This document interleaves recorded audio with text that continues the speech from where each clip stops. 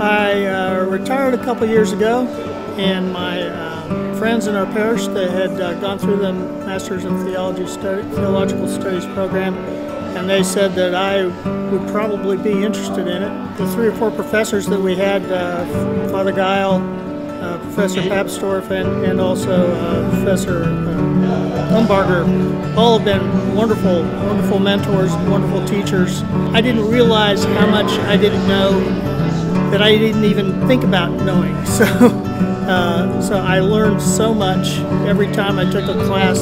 Something new came out of it, uh, something new that I had never even thought of before, and uh, it's it's just been a wonderful experience. I don't, it's hard to describe uh, the, the change that's made in my life. I just like to you know thank my family and friends who all encouraged me to do this and.